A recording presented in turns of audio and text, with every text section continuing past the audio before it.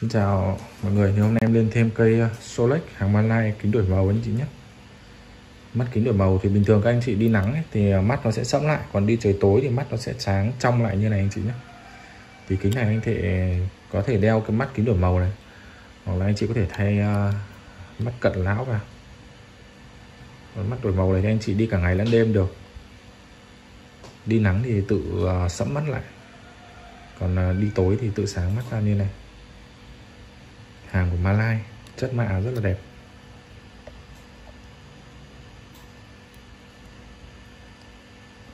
Thì anh nào quan tâm vui lòng nhắn tin qua Zalo cho em. 090 22 77 552 em cảm ơn.